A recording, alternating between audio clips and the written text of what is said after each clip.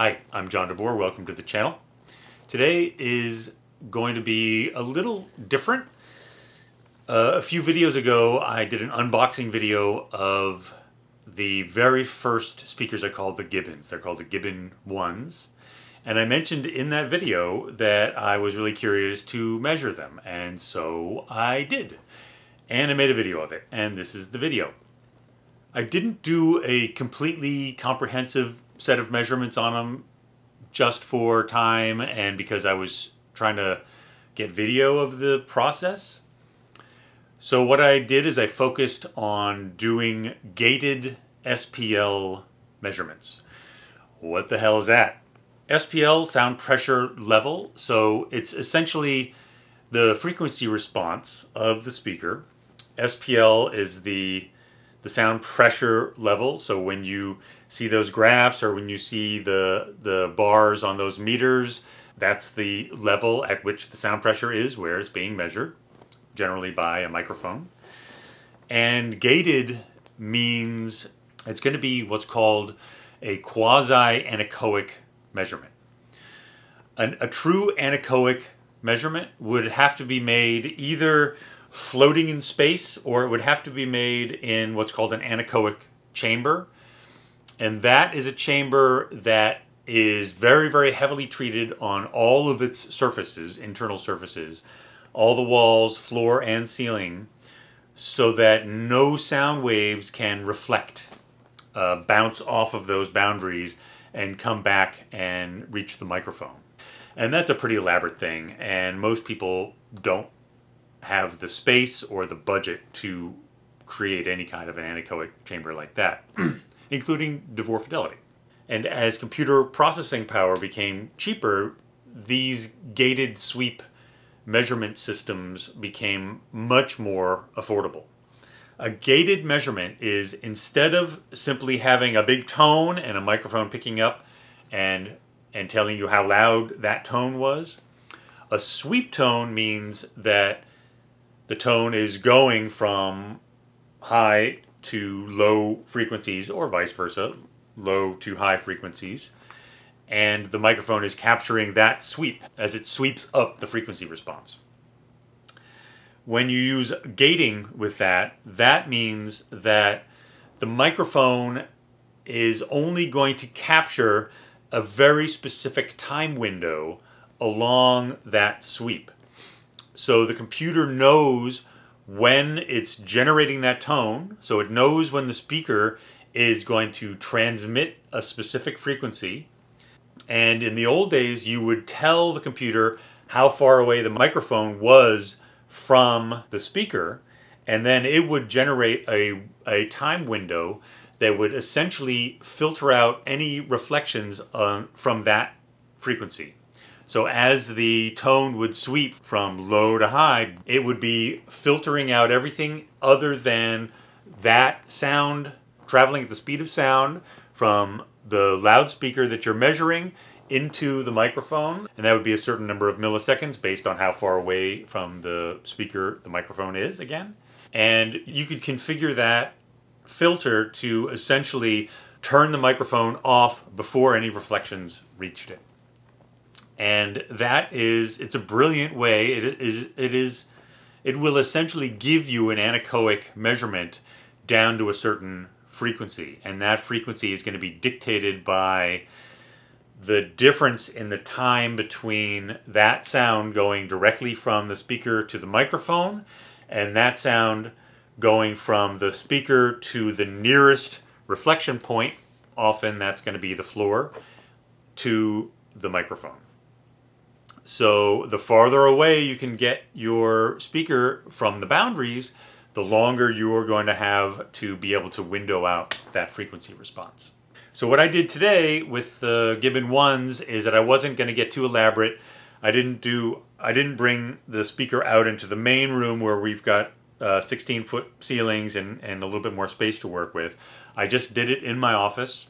Uh, I did raise it up on a platform so we do have a pretty decent window and we got a real measured response down to below 500 hertz. So we so the response window that I that I had that I created is from 500 hertz up to 40,000 hertz. Uh, I wanted to get a good ultrasonic picture of it because a, a later version of this tweeter became the tweeter in the Silverback reference, which was our big flagship speaker that I designed in 2003 and 2004, and it came out towards the end of 2004. So that was the scope of the measurements that I wanted to do today. So this little measurement is going to be done on that system, the Fine Sounds R&D system with hardware 3 is what it's called. I have the calibrated graph measurement microphone that goes with the system and I run my measurements generally not from one meter. The only thing I find one meter distant measurements good for is finding out uh, the SPL sensitivity of a pair of speakers because the standardized sensitivity spec is measured at one meter. Uh, so I generally measure from over two meters away. I measure from seven feet away, 84 inches, which is much more of a normal listening distance. And I set up this measurement to listen from the tweeter axis, which is how I originally designed these speakers to be heard from back in 1996. So I got the old Gibbon ones down from the uh, archive shelves put it on a, an old prototype 3XL, Gibbon 3XL stand, and then put that on a small platform to get it as far away from the floor as practically possible in here in the in my office. These the my office has a little bit over 10 foot ceilings, so that meant I could get the measurement center roughly five feet away from any boundary, which is what I did. I set up the measurement microphone, connected it to the Fine Sounds hardware, turned on the hardware, fired up Windows on my Mac and ran a first sweep. Now I set up the software so that when it ran this sweep, you would be able to see the raw data that it first acquires. With Fine Sounds, it just takes in all the data, brings it in, and then you, afterwards, you can go in and adjust the parameters. So you can adjust the window that dictates the distance, the, the delay that dictates the distance between the speaker and the microphone. So in our case, at 84 inches, that's somewhere around six and a half milliseconds. And then you can also dictate the moment that you want to close that window. And in, in our case, with the size room we have in the setup, uh, I used four milliseconds. So that basically cleans up all of the reflective information from our measurement and that gives us our final result. So I did a printout of the final result that I think you just saw on the screen. So this printout shows us the response of the Gibbon 1 measured from 84 inches away at the tweeter axis. So up here, this is 40,000 hertz uh, is the outside of the range here. And this here, I believe, is 700 hertz or something like that, maybe 800. Uh, unfortunately, I'm looking at the back of this right now. But the response is actually not bad. Uh, better than I was expecting. These speakers were designed 100% by ear, and the crossover was designed with a pencil and paper. So this, the, uh, the crossover range, the crossover frequency of this system is about 5K uh, which happens right around here. So you can see there's a little bit of a notch, a little cancellation there at the crossover range. But this is, this here is uh, 20,000 hertz. So you can see that the tweeter has pretty good ultrasonic response, uh, which is why we developed it a little further into the Silverback reference speaker. Uh, and there's a little something going on here. So uh, really actually impressed, kind of um, better than I was expecting this to look like. When things start to get a little bit ugly is when we start to measure off axis. So that measurement is right from the listener having their ears in at the same height as the tweeter in that system. As soon as we start moving off axis, you start to see some stuff happen in that crossover region. So here is another set of sweeps. And this, we have that original white line. That's the line that we that I just talked about. And then we have three more lines here, uh, ending with this really kind of ugly green line that has an enormous suck out, a good 15 dB and pretty wide suck out at the crossover region. So this is this is a speaker that sounds good uh, at the listening axis, but will change its character quite a bit if you move off axis. So if you're walking around standing up, or if you're lying on a cushion on the ground, you're not going to get the same sonic flavor that you do when you're sitting at the optimum axis.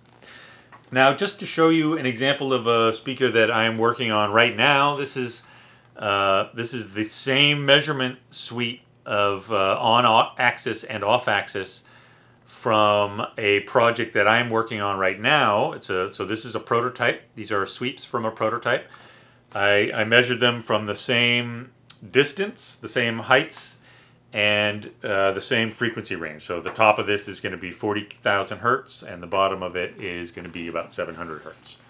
So this one here, you can see, so this is about 20K, so there is a bit of an ultrasonic peak on there, uh, and that is due to the shape of the horn in the prototype cabinet. We're still working on that a little bit, but uh, all the horn development right now has been to ensure we have in from 20k below uh, is as flat and the boost is as even-handed as possible. And then uh, you can see down through the crossover range all of these lines are very tightly clustered. So the, the sonic flavor of this speaker is not going to change very much as you move on and off axis. And this is, uh, this is an example of sort of the middle of a current DeVore Fidelity design. Getting a little bit of a sneak peek here and some of the stuff that we are able to now address now that we have better measurement facilities, and uh, I certainly have a lot more design experience under my belt. And so uh, I am designing to make sure that more people are getting an even response uh, from our designs. So that was uh, sort of a whirlwind tour through the way, some of the ways that we do measurements and, and a little bit of what they mean. Thanks for watching and I'll see you at the next video. Bye.